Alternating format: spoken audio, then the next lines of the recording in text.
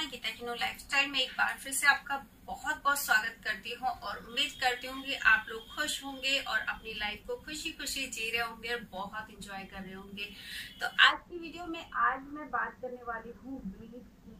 अक्सर हम लोग शादी में जाते हैं पार्टी में जाते हैं या कहीं भी जाना होता है, किसी भी ओकेजन में तो सबसे पहले ब्लीच करते हैं, उसका फेशियल करते हैं। अब ब्लीच हम लोग करते क्यों है? ब्लीच हम लोग करते हैं ताकि जो हमारा चेहरा है उसमें बहुत ही अच्छा ग्लो आ जाए और साथ ही रंग साफ़ लगने लगे, जो टैनिंग है वो निकल जाए और जो हमारे चेहरे के जो बाल हैं वो हमारी स्किन कलर से मैच हो जाए। इसलिए हम ब्लीच करते हैं। पर जो मार्केट की ब्लीच होती है ना, उसमें बहुत सारे केमिकल्स होते हैं। और जब भी आपने उसे अप्लाई किया होगा, देखा होगा स्किन पे कितनी जलन होती है। मैंने एक या दो बार की है बट मैं सीरियसली बताऊँ, बहुत ज़्यादा मेरे आँखों से पानी आता है, मुझे इतनी जलन होती है कि मैंने उसके बाद दोबारा यूज़ ही नहीं करी। एक या दो बार शायद यूज़ की है तब मुझे इतनी जलन हुई फेस पे कि मेरी दोबारा हिम्मत ही नहीं हुई कि मैं फिर से ये ब्लीच लगाऊँ अपने चेहरे पे। सोच सकते हैं कि जब ये लगाते टाइम हमारे फेस पे इतनी जलन कर रही है, इतनी इचिंग हो रही है तो ये हमारी जो फेस की सेंसिटिव स्किन है, उसे कितना ज़्यादा नुकसान पहुँचा रही होगी। तो इसी को सोचते हुए, इसी चीज़ को ध्यान में रखते हुए मैंने जो ब्लीच है, वो करना बंद कर दिया। बट क्या करें?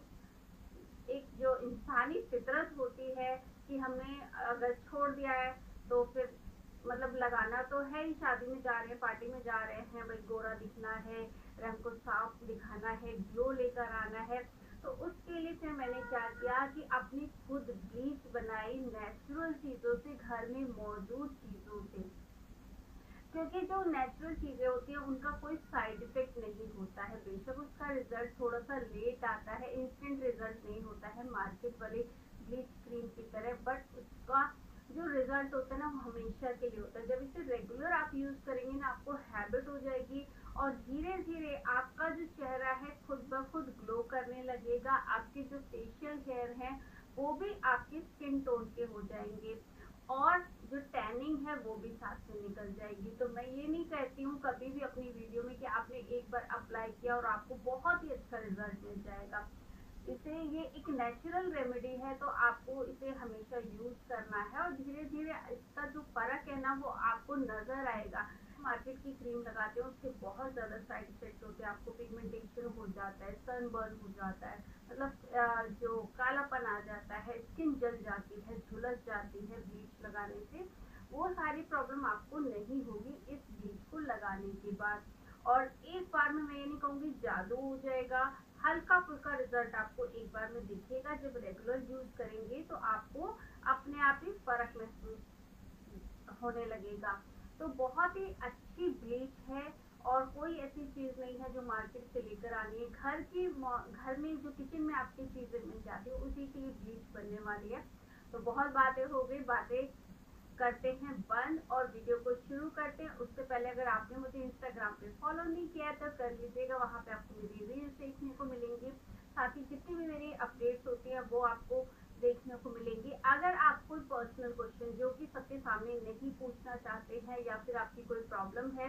वो मेरे साथ शेयर करना चाहते हैं तो आप मुझे इंस्टाग्राम पे ज़रूर फॉलो करें और वहाँ पे मुझे डीएम करके पूछ सकते हैं, जो भी आपका सवाल है। अगर आप सबके सामने नहीं पूछना चाहते तो मैं वहाँ पे भी आपको जवाब दे दूँगी। अगर कोई फ़ोटो शेयर करना चाहते हैं, आपने मेरी रेमेडी यूज़ की है और आपको अच्छा रिज़ल्ट मिला है तो वहाँ पे फ़ोटोज़ भी शेयर कर सकते हैं और सेम यही वीडियोस आपको मेरे फेसबुक पेज गीता किनू लाइफ स्टाइल पे भी देखने को मिलेंगे अगर आप फेसबुक चलाते हैं तो ये वीडियोस आप वहाँ पे भी देख सकते हैं तो इसलिए मेरे फेसबुक पेज गीता के लाइफ स्टाइल को भी लाइक और फॉलो करना बिल्कुल मत भूलिएगा।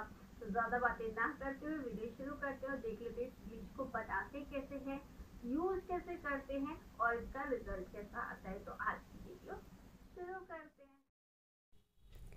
तो यहाँ पे मैंने एक आलू ले लिया है, कच्चा आलू है, इसे मैं छील लेती हूँ और ये मैंने क्यों लिया है? क्योंकि इसके अंदर ब्लीचिंग प्रॉपर्टीज़ होती हैं। चेहरे का रंग साफ़ करेगा, साथ ही जो आपके बालों का कलर है, उसे भी लाइट करेगा। पिगमेंटेशन की प्रॉब्लम है, वो भी दूर करेगा। बहुत सारे इसमें गुण हैं। तो यहाँ पे मैंने इसे कद्दूकस कर लिया है, क्योंकि इसका हमें जूस निकालना है। तो अब इसका जूस निकाल लेते हैं। छन्नी से इस तरह से दबा दबा कर छानेंगे तो इसका जूस निकल जाएगा।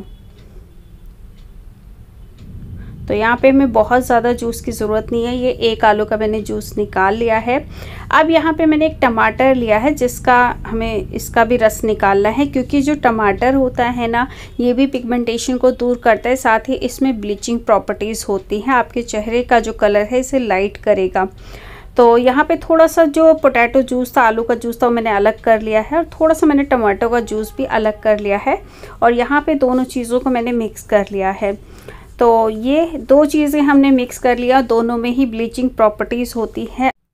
तीसरी चीज़ जो मैंने यहाँ पे ऐड की है, चावल का आटा एक चम्मच, क्योंकि ये भी एक ब्लीचिंग एजेंट होता है, चेहरे के रंग को साफ़ करता है। साथ ही मैंने इसमें नींबू का रस डाला है, कुछ बूंदे और ये भी हमारे चेहरे की रंगत को साफ़ करता है ब्लीचिंग प्रॉपर्टीज़ होती हैं।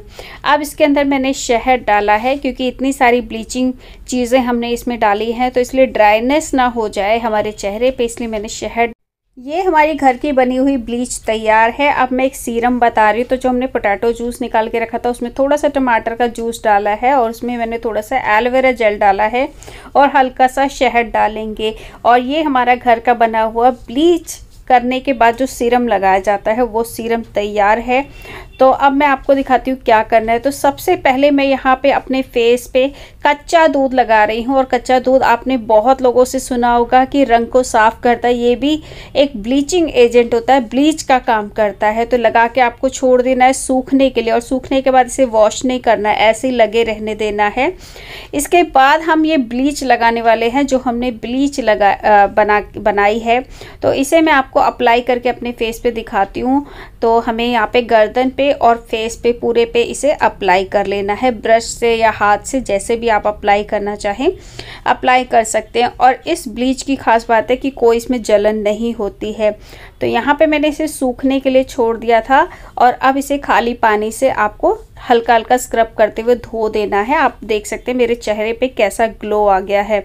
अब इसके बाद इस सीरम को लगाना है ताकि जो ब्लीच है, उसका जो रिज़ल्ट है, वो बहुत जल्दी आपको मिले। तो इस तरह से सीरम लगा लेंगे और सीरम को लगाने के बाद आपको इसे 10 मिनट के लिए छोड़ देना है, सूखने के लिए। तो यहाँ पे मैं अपना फेस वॉश करके आती हूँ, फिर आपको दिखाती हूँ इसका रिज़ल्ट तो यहाँ पे मैंने अपने फेस को धो लिया है और पहले से अच्छा ग्लो देख सकते हैं आप मेरे चेहरे पे। मैं ये नहीं कहूँगी कि एक बार में ही आपको बहुत अच्छा रिज़ल्ट मिल जाएगा जब आप इसे रेगुलर लगाएँगे तो आपको डेफिनेटली बहुत अच्छा रिज़ल्ट मिलेगा। घर की चीज़ों से ब्लीच करना कितना आसान है। अगर आज का ये वीडियो आपको हेल्पफुल लगता है तो इस वीडियो को कर दीजिएगा लाइक क्योंकि आपका एक एक लाइक मुझे बहुत ज़्यादा मोटिवेट करता है इस तरह की और भी अच्छी अच्छी वीडियोस आपके लिए बनाने के लिए। साथ ही दूसरों के साथ शेयर करिएगा, ताकि और लोग भी इस चीज़ का फ़ायदा उठा सके। और चैनल पे पहली बार आए हैं सब्सक्राइब नहीं किया तो सब्सक्राइब करके ज़रूर जाइएगा, क्योंकि इस तरह की बहुत ही हेल्पफुल रेमेडीज मैं आप लोगों के लिए लेकर आती हूँ। और तो फिर मिलती हूँ इस तरह की और भी नई नई इंटरेस्टिंग वीडियोस के साथ। Good bye